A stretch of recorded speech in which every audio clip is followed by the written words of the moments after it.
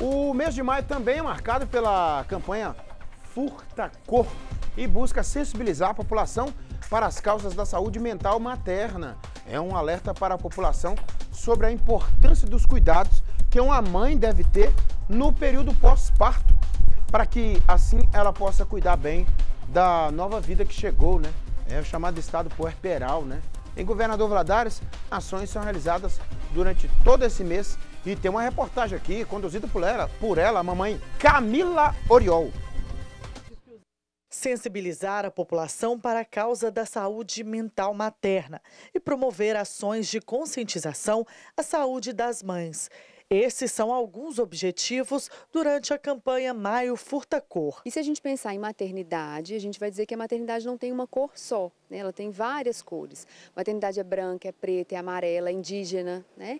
Então, de acordo com a incidência da luz ou com a fase que a gente está vivenciando na maternidade, a gente vai ter uma cor diferente. Né? Então, a mãe, a mulher, a maternidade são várias cores ao mesmo tempo, por isso o nome. A Lídia é mãe do Tom, de dois anos. Ela enfrenta os desafios da maternidade e sabe da importância do apoio e atenção que as mulheres precisam nesta nova fase.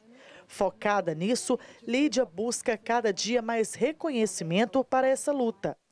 Para isso, ações foram realizadas durante este mês de maio. Então, o que a gente já fez aqui? A gente fez uma ação, uma audiência pública para discutir esse tema, para mostrar para a comunidade, para a sociedade o quanto é importante falar disso, né? porque as mulheres, as mães estão adoecendo. Os números são muito grandes, assim, muito importantes quando a gente fala de saúde mental materna. Por exemplo, uma a cada quatro mulheres vai apresentar depressão pós-parto. No primeiro ano de vida do bebê, né, após o parto ali. Então, a gente fez uma audiência pública para discutir isso, a gente fez uma marcha Furta Cor, que foi uma caminhada numa pracinha lá da ilha, junto de uma ação social com mães empreendedoras, com yoga, com roda de conversa, é, com várias atividades para toda a família. A Evelyn é mãe do Cadu, de um ano e dez meses. Ela lembra emocionada de como foram os primeiros dias com a chegada do bebê. Quando você se vê com um bebê na mão, você não se reconhece. E você se busca, como foi falado, e você não se acha, você não se encontra. Tem uma nova vida dependente totalmente de você e você não está ali mais, você é outra pessoa. Eu passei por essa mudança e o apoio, a segurança, é, a amizade, todo esse conforto dessa rede eu encontrei na Lídia. A mãe precisa estar bem para cuidar do bebê.